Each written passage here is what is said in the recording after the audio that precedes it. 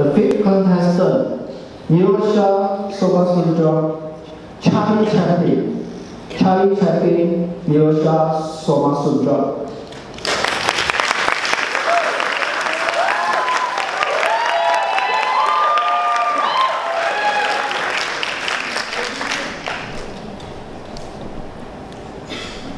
In my life, I have many problems, but my lips don't know that. They always smile. This was said by someone who did not just make people smile, but laugh. Charlie Chaplin. Well, I wish someone told me that when I was young, because I was someone who took everything too seriously since a very young age. When I was seven, I was just a normal child, thankfully.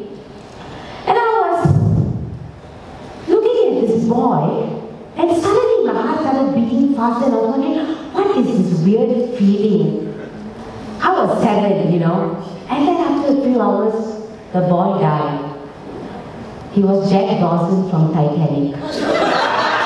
I was devastated. I was sobbing after he passed away. And my grandma was there with me and she was consoling me for only five minutes and then she lost the patience. She just went, this is all rubbish, huh? It's all rubbish. Their love was rubbish, everything is fake, even his death was fake. You think he really died? No, she purposely let him die so she can marry the rich fella. I cried even harder. But that's my grandma. And I was thinking, why? Why was I taking everything that seriously? But then I look at older people, they are still going on with life. And that's where we seek our senior people. Like even at Toastmasters, we seek the senior Toastmasters for advisors. So I was thinking, if they can go on, I can go on also. I have two people in my family that I look up to. The only thing mature about them is their age, my grandparents. We'll start off with the chief of the family, my grandfather. His principle in life is very simple. A man can do whatever he wants. A lady has to get married and have children before her expiry date circle with one line in every language is either with a kauna kawini or nishama shivo yaojagun or yeppo kalyana panna pora. I've had my fair share, I tell you that. So my grandpa was there. Mirsha, all your friends have started working and you are just studying and studying and studying. When are you going to start working? I finally was done with studies and I started my job. Mirsha, are just working and working and working. When are you going to get married? I knew the next question will be, when is my child coming when I get married? so I lost. I said, I am done. Please, life is not all about marriages and having children, you know. I mean, take Abdul Kalam for instance. He was single, but he was a legend. People still talk greatly of him even after he passed away. Yes, but he died pathetically alone. If there's one person in my family who can manage that man, it's my beloved grandmother. Oh, she is as spicy as Ruben's Nasadama. so I was so sick of my grandfather's questions. So I went asked, Party, what do I do, Party? I'm so sick of his questions. What do I look for in a man? And then she had the face on the with light face. She glazed the face on her father for getting her married to my grandfather. My dear, I tell you what, when you want a man, don't look for the race. Doesn't matter what his religion is, how much he earns, nothing. Just don't marry someone like your grandfather. okay, thank you. And when you put these two together, that's when the drama really begins in my family. I sketch a lot. I sketch and I sell. So at one point I was sketching loads of animals and I like getting opinions from my grandparents. So I went up to them and asked, is this nice, is this nice? My grandpa just asked, Mirsha, you keep drawing animals and animals and animals and now you keep drawing a series of dogs. When are you going to draw me?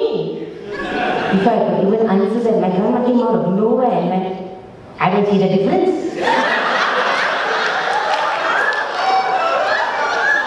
I was in shock.